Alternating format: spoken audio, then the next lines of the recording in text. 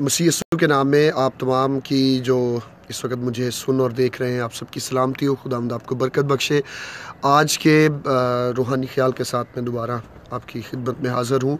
اور آج ہم خدا ان کے پاک کلام میں سے پیدائش کی کتاب اور اس کے تیسرے باپ کی بارہویں آیت پر غور کریں گے۔ خدا ان کے کلام میں لکھا ہے کہ آدم نے کہا کہ جس رو، جس عورت کو تو نے میرے ساتھ کیا، اس نے مجھے اس رت کا پھل دیا اور میں نے کھایا۔ ذمہ داری کو قبول کرنا آج بڑا مشکل ہے۔ اور انسان کی شروع سے یہ فطرت رہی ہے کہ وہ اپنی ذمہ داری، اپنی غلطی، اپنے گناہ اور قصور کو قبول نہیں کرتا، بلکہ اپنی ذمہ داری دوسروں پر ڈالتا ہے۔ آدم نے اپنی بیوی پر الزام لگایا اور اس نے کہا، اس نے مجھے پھل کھلایا۔ بلکہ ہم اس بات کو یہ کہہ سکتے اس نے گویا انگلی کے ساتھ اشارہ کر کے کہا کہ یہ یہ جو ہے، اس نے مجھے اس پھل کو کھلایا اور خدا پر الزام لگایا اور کہا کہ جس عورت کو تو نے میرے ساتھ کیا اور ہوا نے بھی اس بات کو نہیں مانا بلکہ اس نے کہا کہ سانپ نے مجھے یہ پھل کھلایا۔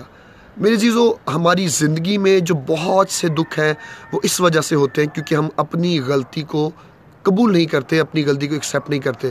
اگر ہم اپنی غلطی کو قبول کر لیں تو ہماری زندگی میں بہت سی باتیں جو ہیں بہت سی پریشانیاں جو ہیں، وہ ہم سے دور ہو جائیں گی اور ہم ان سے بچ جائیں گے۔